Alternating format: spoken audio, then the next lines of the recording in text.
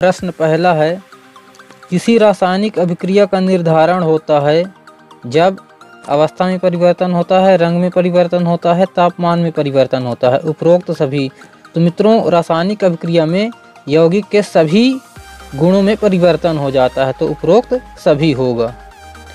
प्रश्न दूसरा है, यदि मैग्नीशियम रिबन को वायु में दहन किया जाए तो चमकदार श्वेत लव प्रकाश उत्पन्न होती है एवं यह श्वेत चूर्ण में परिवर्तित हो जाता है।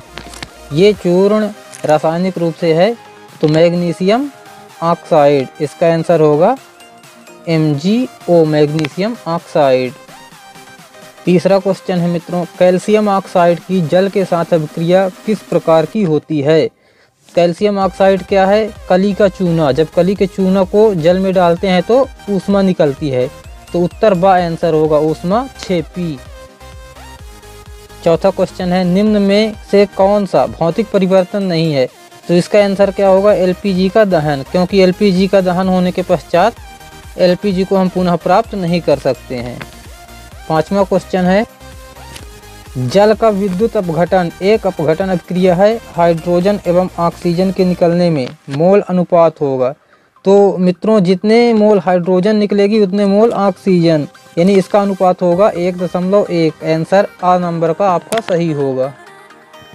छठवां क्वेश्चन है, देर तक सिल्वर क्लोराइड को सूर्य के प्रकाश में रखने पर वह काला पड़ जाता है, क्योंकि तो मित्रों, जब सिल्वर क्लोराइड को एजीसीएल को सॉरी एजीसीएल को सूर्य के प्रकाश में रखते हैं तो क्या होता है? एजी अलग हो जाता है और क्लोरीन गैस उत्पन्न होती है। यहाँ to A ji C L करेंगे तो टू ए जी और सी एल टू आएगा तो रासायनिक समीकरण संतुलित हो जाएगा। तो आंसर कौन सा सही होगा आपका? सा नंबर का। सिल्वर क्लोराइड से क्लोरीन गैस का अपघटन होता है।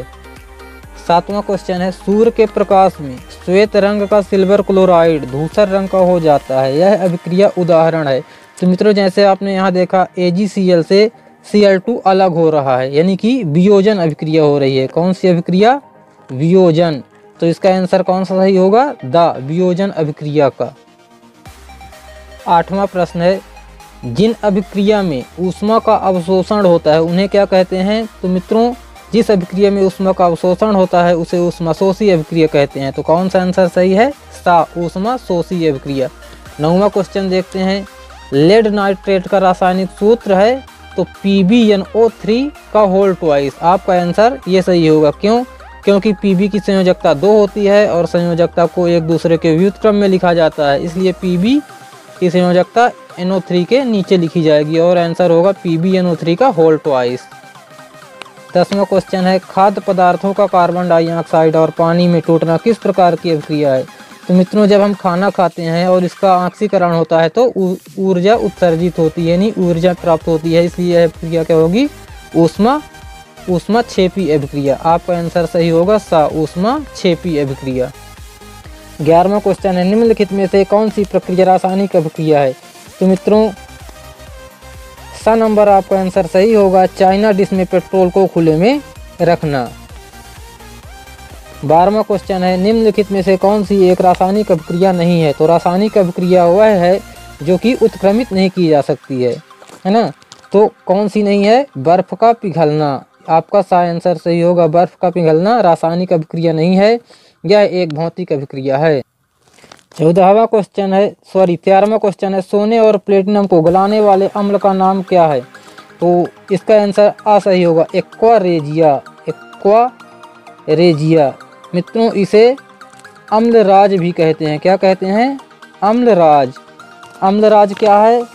एक भाग एच सी एल और तीन भाग एच एन ओ थ्री इसको हम एक्वारेजिया या अम्लराज भी कहते हैं। चौदहवा क्वेश्चन है, किसी रासायनिक अभिक्रिया में भाग लेने वाले पदार्थ कहलाते हैं। तो अभिक्रिया में भाग लेने वाले पदार्थ अभिकारक कहलाते हैं। आपका आंसर बा सही होगा, अभिकारक। और अभिक्रिया के पश्चात बने हुए पदार्थ को उत्पाद कहते हैं। अब रिक्त स्थानों की पूर्ति देखते हैं। पाप ध्वनि से जलने वाली गैस है तो इसका आंसर को क्या होगा? एच टू हाइड्रोजन दूसरा, हमारे शरीर के कोष्ठी स्तर पर भोजन का दहन क्या कहलाता है? ऑक्सीकरण या अपचयन। तीसरा, लंबे समय तक सेवन न करने पर सूखे मेवों के सड़ने का कारण है तो विकृत गंधक।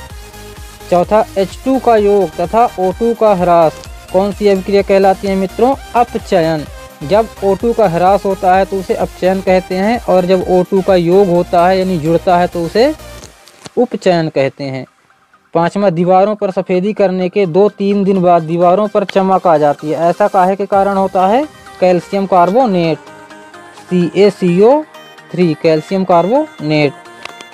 छठवा है, संगमरमर का रासायनिक सूत्र है तो इसका भी calcium carbonate C A C O three बिना बुझे हुए चूने का सूत्र है तो इसका होता है कैल्शियम ऑक्साइड सी ए ओ धन्यवाद मित्रों, यदि आपको कहीं डाउट हो तो आप कमेंट करिए और हाँ चैनल को सब्सक्राइब ज़रूर कर लीजिए।